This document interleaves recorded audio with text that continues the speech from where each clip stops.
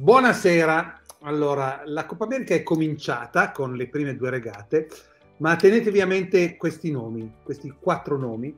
Giulia Conti, Margherita Porro, Maria Giubilei e Giulia Fava. Sono le ragazze di Luna Rossa Prada Pirelli che hanno vinto la Puig Women America's Cup, una prima edizione di una coppa eh, dedicata solo alle donne con gli EC40 che le nostre ragazze, come peraltro abbiamo fatto già i giovani under 25, hanno letteralmente dominato. Qualche patema nell'ultima poppa, ma era chiaro che la tranquillità delle nostre ragazze era tale che avrebbero vinto, erano forse le favorite, per noi erano le favorite, e, è stata una bellissima vittoria, commovente, la gioia delle ragazze, gli abbracci, i sorrisi, ma quelli eh, abbiamo, abbiamo, imparato a conoscerli.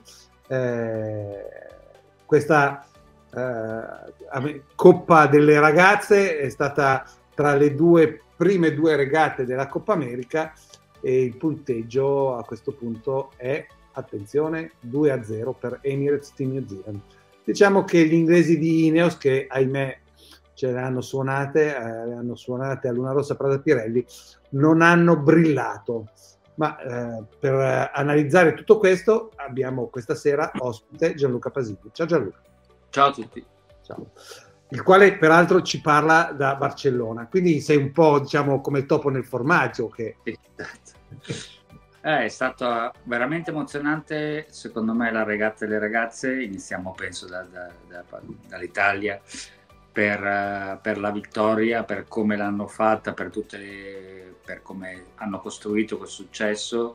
Emozionante anche vedere il, il, la, loro, la, loro, festa, eh, perché credo che se la siano meritata totalmente. Avevano tra l'altro lo stesso allenatore della squadra junior maschile, maschile e portano a casa, l'Una Rossa porta a casa comunque due successi, eh, secondo me, che confermano qual è il valore del, della vera italiana. Se ci portiamo indietro, 30 anni fa non era assolutamente così quando l'Una Rossa ha iniziato. Assolutamente no. Ricordiamo tra l'altro la collaborazione che c'è stata tra le ragazze che facevano un po' diciamo lo short team dei ragazzi quando loro facevano le regate e viceversa eh, i ragazzi eh, non c'era solo diciamo, l'allenatore in comune c'era una collaborazione sì, sì. e infatti si vede che poi a, a, alla fine andati, i ragazzi sono saliti, sono saliti su, a bordo sì, sono saliti a bordo quindi hanno partecipato alla festa. Eh, più di tutte le statistiche, invece, tornando alla Coppa America, tra virgolette, vera e propria, più di tutte le statistiche, secondo me, eh, parla la faccia di Benesri eh, alla fine della regata, quando si concede per le, le solite interviste di rito.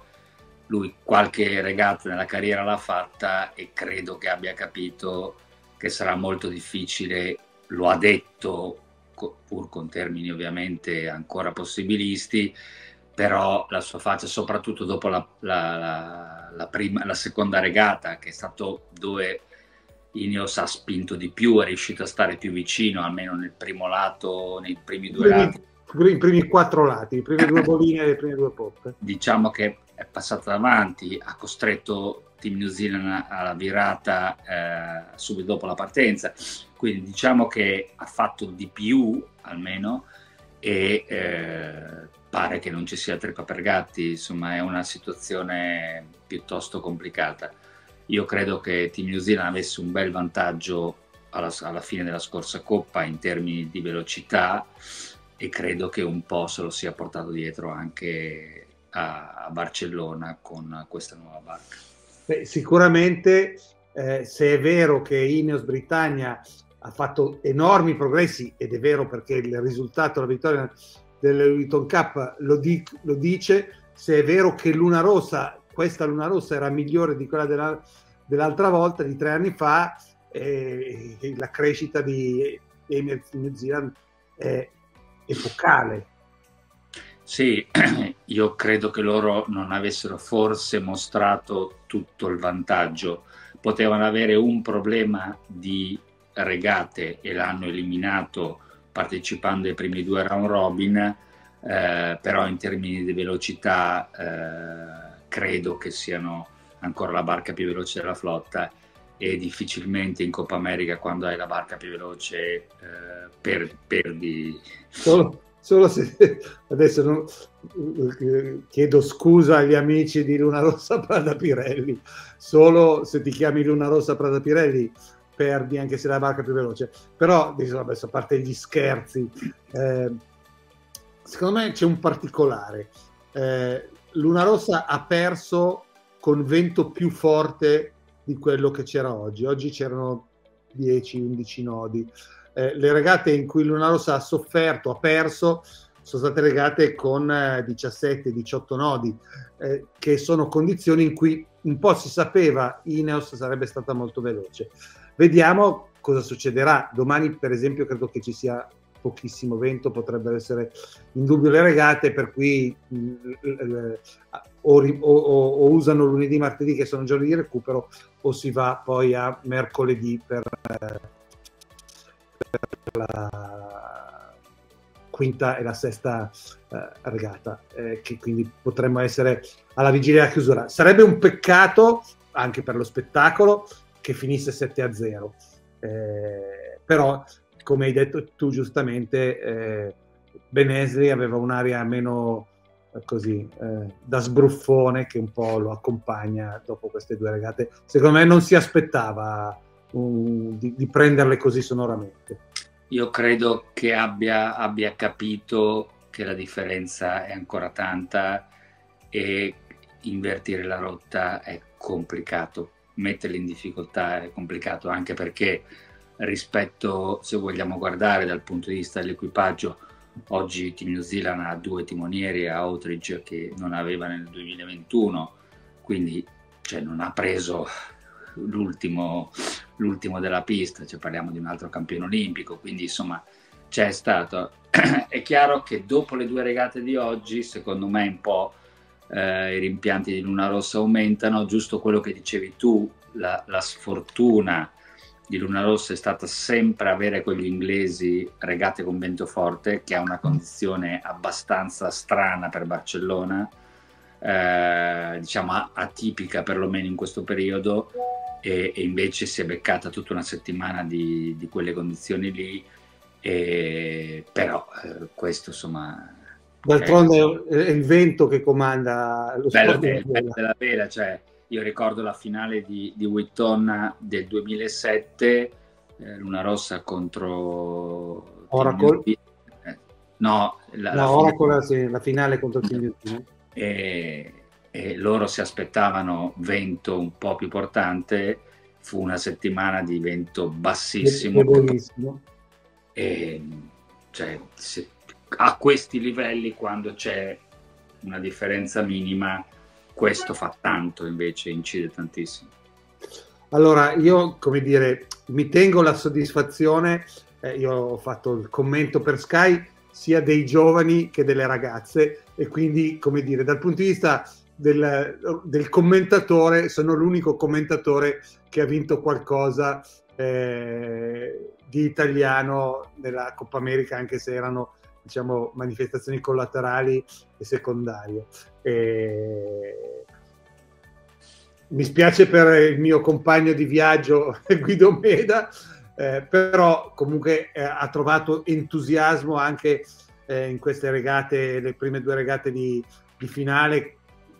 Credo che sia veramente in gamba, eh, abbia un modo nuovo di comunicare la vela, questa vela soprattutto che esce un po' dai canoni, infatti diciamo a, a quelli della, ai più anziani storcono il naso, ma invece ai giovani piace tanto.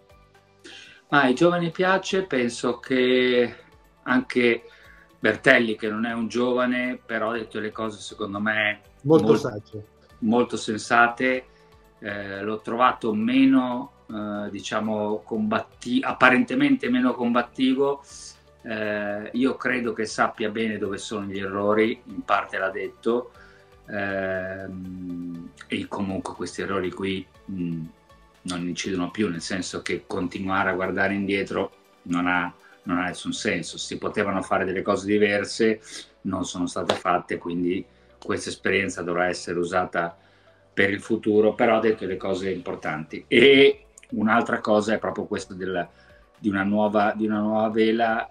È chiaro che ci sono tante preoccupazioni perché se la Coppa America va a Jeddah, come si dice in maniera insistente, eh, potrebbe essere un salto nel vuoto e eh, non so se la Coppa America abbia la forza di sopportare un salto nel vuoto dopo 170 anni, potrebbe essere fatale, però eh, queste sono le regole del gioco, eh, Team New Zealand difficilmente tornerà a casa, Team New Zealand non ha uno sponsor vero e proprio che, che paga, quindi deve cercare di eh, Barcellona è andata bene, anche oggi c'era molta gente, però dicono che la città abbia eh, preso poco, sì, è arrivata molta gente da fuori, ma che la città si sia rivolta poco a questo evento, perché poi è un evento che non sente, è abbastanza normale. Prima del 92 il mare per Barcellona non esisteva, quando ci furono le Olimpiadi il primo approccio fu proprio quello.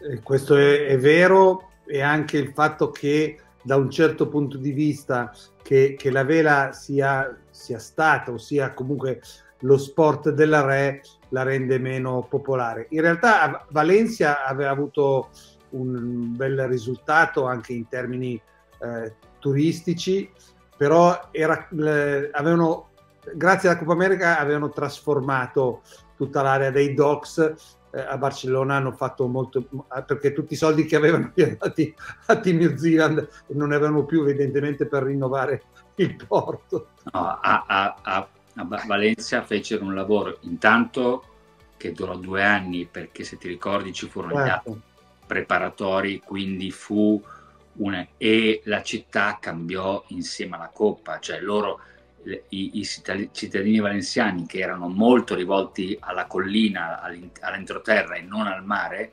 scoprirono lì questa cosa, la passeggiata al mare, mentre prima non ci potevi andare perché era tutta una zona di eh, droghe, esatto. eccetera, eccetera. Dopo era diventata la passeggiata anche per i valenziani, ma ci, ci hanno messo due anni di lavori. Eh, di, qui il cambiamento è molto, molto minore, anche se c'era tantissima gente quanti, tanti tifosi neozelandesi, più che tantissimi, tantissimi neozelandesi che eh, mi sembrava di essere sul base in Auckland, cioè veramente un sacco di gente, giovani, anziani, eh, una, una bel, un bel supporto. Bene Gianluca, grazie di questa chiacchierata, sicuramente diciamo ovviamente non abbiamo più un appuntamento quotidiano come quando c'era Luna Rossa, ma questa Coppa America la commenteremo ancora e ci ritroveremo. Buona serata. A presto, ciao a tutti.